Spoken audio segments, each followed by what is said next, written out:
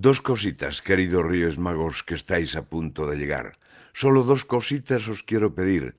No digáis que abuso de vuestra generosidad y además estoy seguro de que las podéis conseguir, que para eso sois magos y habéis hecho prodigios mayores.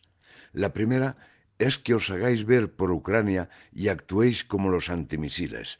Parad esa guerra aunque para ello tengáis que utilizar todo el oro, el incienso y la mirra que tenéis en vuestros zurrones y lleváis 2023 años utilizando.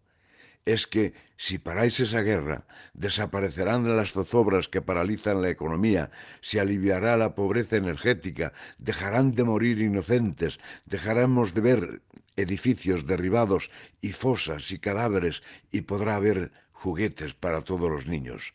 Ahora parece que solo Putin tiene juguetes y los usa para matar, incluso para matar de frío a los niños de Ucrania.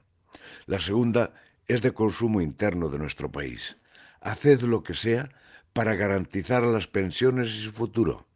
No pienses, Melchor, ni tampoco vosotros, Gaspar y Baltasar, que os hago esta petición de forma interesada, porque este periódico 65 y más es el defensor de los abuelos y de su poder adquisitivo. No es eso, majestades. Os puedo prometer y prometo que no es eso.